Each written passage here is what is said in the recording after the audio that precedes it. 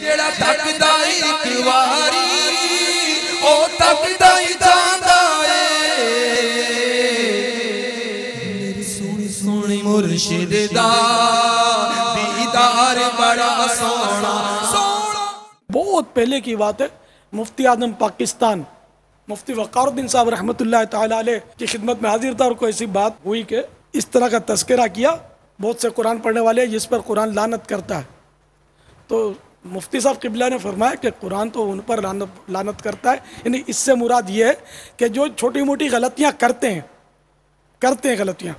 लेकिन आजकल तो जिस तरह कुरान पढ़ते हैं ना, इसकी तो वही है बहुत सख्त चली जाएँगी कि कुफरियात बकते हैं। कुरान पढ़ते हैं तो कुफरियात बकते हैं। अब बोल, आप ये कैसे कुफरियात बकते हैं?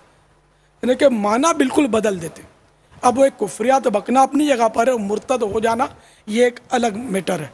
क्योंकि माना पता नहीं है। सीखते नहीं हैं।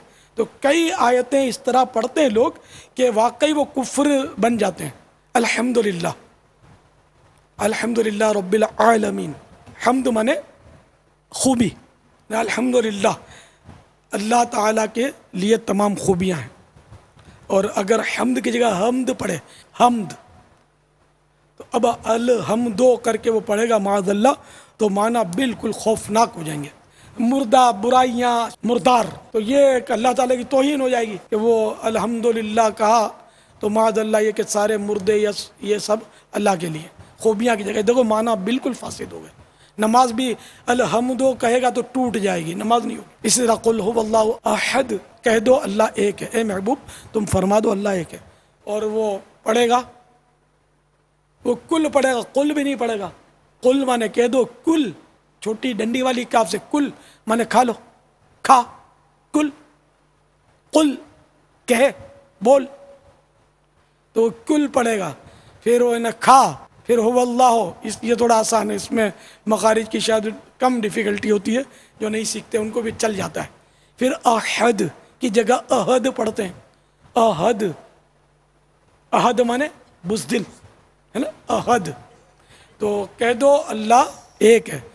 अब कह दो अल्लाह नवजुबिल्ला माना समझ कर कोई पढ़ेगा, अहद तो काफिर हो जाएगा। अल्लाह को बुजदिल कह रहा है। तो अब ये सारी रात लगा भी हुआ तो उसको मिलेगा क्या? मिलना तो कुछ भी नहीं है ना, जबकि इसने सीखा ही नहीं है। हम बोलते हैं फ़र्जुलूम में आओ। बोलते हमको टेम नहीं है। अब ये क़यामत के दिन अगर ये जवाब चल जाएगा, आपको लगता है तो। देख लेना फिर चलता है कि नहीं या अल्लाह, हमको टेम नहीं मिलता है। नहीं, कुरान सीखने को टेम नहीं मिला। दो दो घंटे ड्रामे फ़िल्में देखने तीन तीन घंटे गप्पे मारने के लिए, होटलिंग करने के लिए हमारे पास टाइम था। या अल्लाह तेरा कुरान पढ़ने के लिए हमको टाइम नहीं था। हम थे पढ़े लिखे अहबाब क्या कार्य नुमाया कर गए मैट्रिक किया बीए किया, नौकर हुए पेंशन मिली और मर गए।